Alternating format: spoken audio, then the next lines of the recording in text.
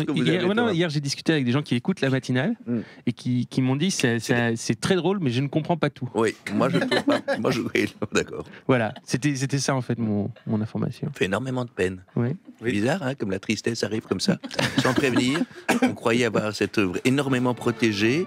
On croyait avoir euh, placardé sur les portes, ne pas oublier d'être heureux. On croyait s'être verrouillé dans une sorte d'illusion joyeuse et éphémère. Et non, on est rattrapé par le réel, blessé, abîmé, sali par une petite phrase pas si méchante que ça. Et tout s'effondre, on n'y croit plus, on rend sa blouse et ses petits crayons à l'économa.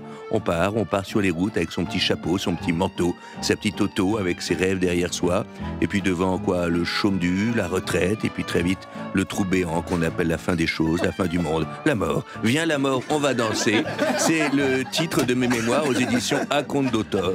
Viens la mort, on va danser, un cri de joie dans l'infini de la tristesse. Vous êtes un peu sensible, non? Sinon, il y a quoi? Non, c'était